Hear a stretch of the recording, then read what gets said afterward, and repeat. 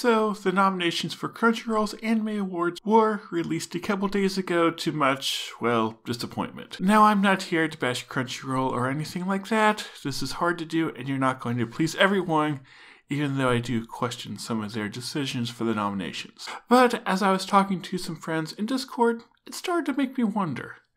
I was in C Tactics Discord server. He's a good friend of mine. I hang out in his Discord server quite often, and we were talking about the nominations, specifically those for Anime of the Year, and how for us none of them were what we would have picked. Like going through the six shows that were nominated, I dropped Megalobox, Violet Evergarden, and Hinamatsuri.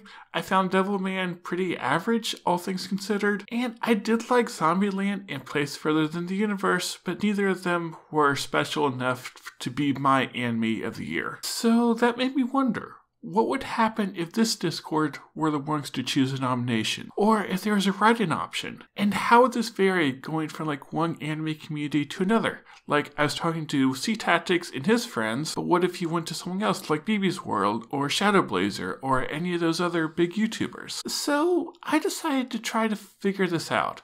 So that is why I'm doing my own set of anime awards, which you can vote for down in the description. I've included a question at the top to indicate what YouTuber communities you're part of so that I can figure out like how it varies from one community to another.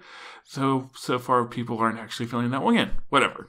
I've also included a writing option for all the categories just so I can see like, is there a show that people really think should win that Crunchyroll did not nominate for whatever reason? And then I also added some additional categories like for best of each genre, best of the most trashy show of the year because that one sounds like fun, and a question about gear because it is awesome. Also, I do apologize if for the best of genre awards your favorite was not listed because there are a lot of things and I was doing this quickly, kind of off the top of my head and looking through MAL, so yeah, your favorites might not be on there. You might also question why some are, but hey, I like them. That's what I thought of with the category.